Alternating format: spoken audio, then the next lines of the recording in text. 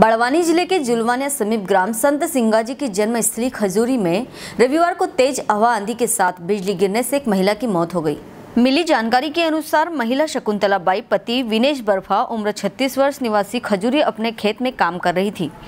तभी तेज हवा आंधी चलने पर वहाँ झाड़ के नीचे जा बैठी जिसके बाद आकाशीय बिजली गिरी मौके पर महिला के अंकल मौजूद थे जिन्होंने परिजनों को सूचना दी जिसके बाद परिजनों द्वारा महिला को राजपुर अस्पताल ले जाया गया जहाँ डॉक्टरों द्वारा मृत घोषित कर दिया गया। जुलवानिया से रवि पाटीदार की रिपोर्ट।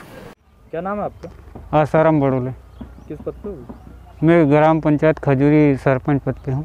क्या हुआ अभी यहाँ गाँव खजूरी में अभी विनेश यहाँ उनकी मिसेस के को बिजली गिरने से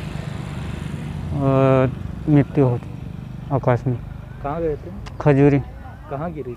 खेत? खेत में गए थे। क्या करने गए थे? खेत में खेत का काम करने किसानी। किसका खेत था? उन्हीं का घर ही विनेश का।